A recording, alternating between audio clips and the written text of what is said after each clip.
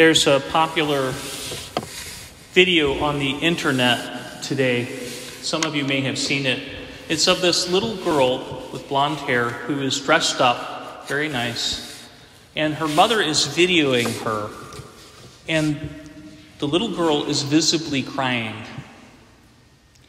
And the mother is asking her, Are you crying? And the little girl is denying the fact that she's crying. And she's saying, No, I'm smiling. And the mother obviously is saying, Oh, you're smiling, huh? Yeah, I'm happy. It's one of the most heart wrenching videos I've ever seen. A child being shamed for their feelings. Another little vignette. Two friends of mine, Evan and Corrine Powell, who live in Connecticut, no relation to our father Joseph Powell, or if they are, it's very distant. And I was over their house, and we were all chatting in the kitchen. And their daughter comes in and was looking for a particular snack at a particular moment. And her mother told her to wait. And the girl did one of those tantrum uh, dances, the little jump. And the mother said to her, It's okay that you're angry, but use your words. And when I saw that, when I saw the respect and the love that was there, it warmed my heart. The child was given permission to have her feelings. She was just given the slight correction as to how best to express them. Because, brothers and sisters, we celebrate the feast of the Holy Family today, but again, like many of the mysteries that we celebrate, we're not just looking at the Holy Family and saying, Isn't that great? and then going home and living our lives as if we have nothing to do with the Holy Family. It is instead that they're presented to us as an example that what is happening with them can happen with us. Now, many times when we hear this gospel today, we think that Jesus was somehow being flippant to his parents when he said to them, Did you not know that I must be in my Father's house? Of course, for us as North Americans, some kind of implication that we didn't know something can sometimes be like we all get embarrassed as if, you know, we somehow don't aren't up to snuff because we don't know something, because knowledge is so uh, valued here. But Jesus is literally, as a young man, 12 years old, coming to realize that he hears things from the Father that his parents may not. And so then what we see happening is this when Jesus recognizes this, it mentions that he then went down back to Nazareth, back to Nazareth, excuse me, and was obedient to Joseph and Mary. In other words, he listened to them and he recognized what their needs were.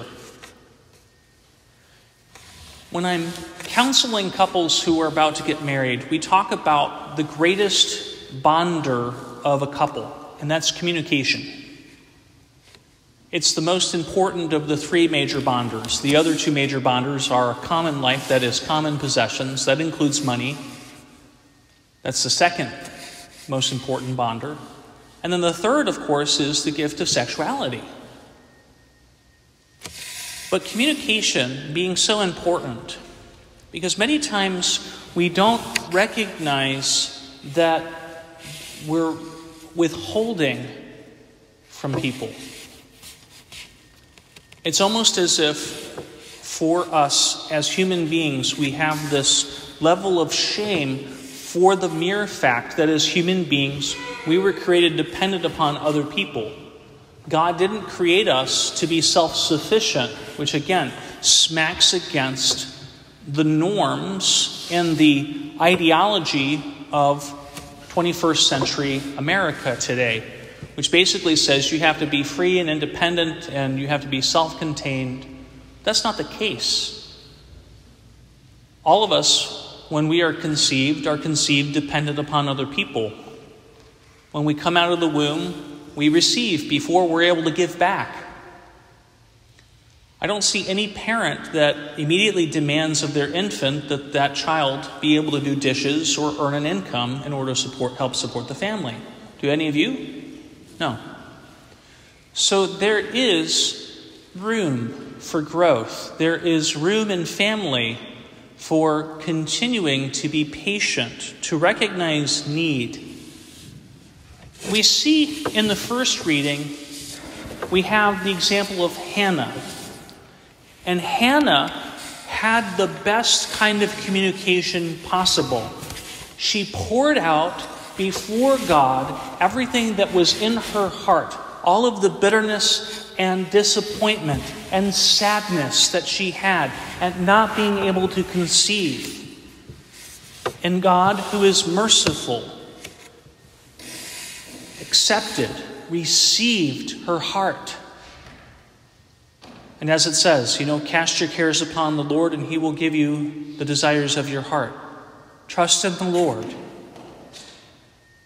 Was it a bad desire that she looked to have a son or that she looked to have a child? Yes or no? You don't seem too convinced. Was it a bad desire for her to want to have a child? No. No. Okay. All right. It's not bad. It's a normal human desire. And many times, what happens, brothers and sisters, is that we, kind of like the woman in the video that I mentioned first, we won't necessarily, well, sometimes we'll shame others, yes, but first we'll shame ourselves for natural human goodness. Like if we get angry, we assume that it's automatically a sin. Not so. Jesus tells us what to do with anger. He says not to direct it at a person, because then you go down the line of uh, reviling the person and eventually wanting to kill them. And St. Paul reminds us if you are angry, let it be without sin. Anger, in and of itself, is geared to protecting the good of self and protecting the good of others. If somebody were to place a child up here and a, an adult were to come and just backhand the child in front of all of us, if somebody wasn't angry in here, I would think they had a mental illness, that there was something wrong with them. Because to just haul and slap a child for no good reason isn't, isn't right. Just like when I was in Market Basket and a gentleman who was so in, much in a hurry actually hit a child with, the, with his cart. And the mother, instead of blaming the man, blamed the child for being in the way. And I, I got mad. I told the man, I said, Sir, you should pay attention where you're going. You just hit that child. Is it right to say that kind of a thing? Yes. Did I demean him? No. I didn't call him names. I did express my anger. But this, brothers and sisters, goes to show what is necessary in family life freedom. Each person, first and foremost, not just listening to God, because sometimes we have this tendency to think that we have to only listen to God, and therefore we get, you know, upset over the fact that sometimes we don't know whether we're hearing God or not. But even learning with the safest and most loving being that we know, God, being able to take everything that's going on within us sadness, happiness, anger, joy, disappointment, whatever it may be, and presenting it before God, asking God for the graces that we need. Even things as, as holy as desire because again, this is one of the things where people will guilt themselves on holy desire. God made humanity normally to be a communion of man and wife, right? Of husband and wife, male and female. And He placed in them a desire for one another, that they may want to be together, that they may want to receive. One of the areas where I often have to discuss with couples that are um, in engaging in marriage prep is often the case that there's one of the questions on the FOCCUS inventory, and it says, you know, we consider our relationship with each other, we consider the, the, the, the fullness of the, of the marriage relationship that we're going to be having to be an expression of God's love for us. And most of the time, rarely have I ever had somebody say, Yes, we agree to that. And for both of them to say that. Because for some reason, and I don't understand why, maybe it's one of the lies of the devil. For some reason, we assume that that kind of marital intimacy is somehow separate from God. And it's not. We may recognize that there are times when that kind of intimacy outside of marriage, or in the wrong way, or in the improper way, may be sinful. But it's because you don't take good china and give put dog food on it and put it on the ground for the dog to eat out of, right? Does anybody do that? No. So likewise, a very precious gift you utilize in celebration, the right times, the right moments. Oftentimes, counseling men or even women if they're struggling with purity. I remind them ask God to help you to know what's going on within you. Because sometimes our communication, even with ourselves, gets disrupted. And we need God who searches our heart and our soul to show us what's going on because He gives us knowledge, understanding, and wisdom, right? Okay? So that when we know what's going on, we can understand what is the good need that is going on within me? What is the good need, the good and holy desire that's present, that's looking for some fulfillment? And how can I meet that in a good and holy way? And God can show us.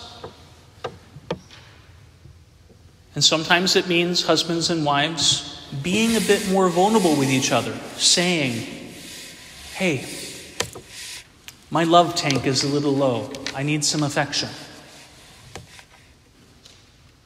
Because, brothers and sisters, what happens sometimes is that we are afraid to be vulnerable. And when we fear that vulnerability, we literally cut ourselves off from sources of grace. The fact that we are human beings and made dependent, made with needs and desires that are desiring what's good, this is not a bad thing. It just smacks right in front of the ideology of the world that basically says that we're self contained and supposed to be our own little gods, because we're not. We're instead made in the image and likeness of Jesus, the Son of God. We are first called to receive, and then we give back. In our relationship with God, we receive Jesus today in this Eucharist, in his body, blood, soul, and divinity so that filled with all the goodness of heaven, we can then go and share the goodness of heaven with others. And brothers and sisters, I don't claim to be a relationship expert. I don't claim to be one that has all the answers about how families can live a holy life, but I do know somebody who does. And that's God.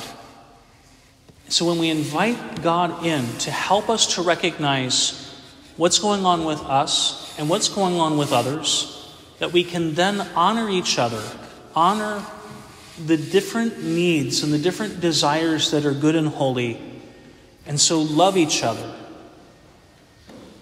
So we ask God to do that today, to give us that knowledge and that understanding and that practical wisdom of knowing how to act, to help meet our own needs and to meet the needs of others, and to respect each other and all of their feelings and allowing everything to be communicated just only in the proper way.